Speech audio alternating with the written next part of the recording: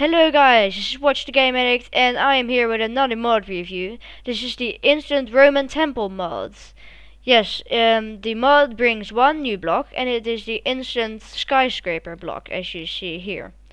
Um, to craft that Instant Skyscraper block you have um, you have to have this stuff. Um, one, two glowstone, one chiseled quartz at the top, two quartz blocks one shelf, one stone brick, and two pillars, quartz blocks. Um, when you put it in the crafting table, you get the instant skyscraper block. With that skyscraper block, you can get a Roman temple like this.